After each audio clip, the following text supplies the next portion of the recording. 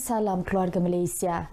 Ya, pelaksanaan rang Undang-Undang RUU Generasi Penamat berupaya melindungi generasi masa depan daripada tabiat merokok yang boleh membawa kepada pelbagai masalah kesihatan. Timbalan Pengarah Kesihatan Pulau Pinang Datin Dr. Aziza Abu Manan berkata, ia sekaligus dapat mengurangkan kos rawatan penyakit berkaitan rokok di negara ini. Sokongan penuh terhadap RUU tersebut dizahirkan Jabatan Kesihatan Negeri Pulau Pinang menerusi penganjuran taklimat pelaksanaan Generational Endgame GEG. Menerusi program itu, peserta diberi penerangan berkenaan RUU dan impak kepada generasi muda dan negara sekiranya ia diluluskan. Uh, tujuan dia untuk uh, memberi penerangan kepada orang ramai uh, untuk uh, memahami ya RU ini dan seterusnya menyokong uh, RU ini untuk diluluskan. Dan kita mengharapkan dengan uh, adanya RU yang baru ini Akta Kawalan Tembakau akan menjadi lebih kuat dan mudah untuk dilaksanakan. Program berlangsung di Komta itu mendapat kerjasama pelbagai pertubuhan bukan kerajaan dan agensi swasta. Tiada kes positif COVID-19 dilaporkan di penjara Reman Pulau Pinang sejak setahun lalu. Ia susulan langkah pelaksanaan ujian saringan terhadap penghuni baru penjara tersebut.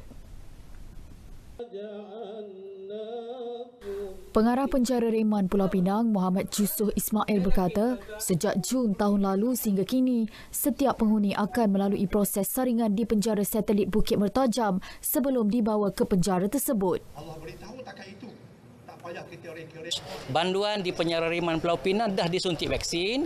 Yang 2% tak suntik lagi itu sebab dia orang baru. Sebab kita sentiasa sentiasa berbincang dengan KKM. Bila satu sampai satu masa dia kata nak 50 orang kami panggil dia masuk untuk bagi suntikan. Yang Setakat ini, 98% daripada 340 penghuni lengkap divaksin, manakala kesemua 323 kaki tangan penjara Reman sudah menerima suntikan vaksin. Kerjasama dengan Kementerian Kesihatan juga diteruskan bagi mengawal jangkitan dan memastikan kesemua penghuni bebas COVID-19. Jabatan Penerangan Negeri Pulau Pinang menganjurkan program Kembara Merdeka Keluarga Malaysia 2022 bagi menyemarakkan lagi sambutan Bulan Kebangsaan dan Kibar Jalur Gemilang.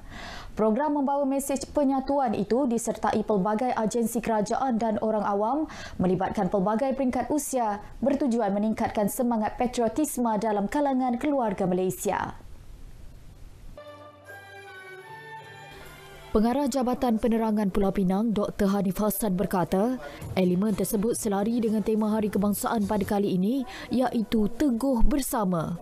Antara aktiviti utama yang dijalankan adalah pemasangan bendera jalur gemilang di pelbagai premis kerajaan dan persendirian sekitar negeri ini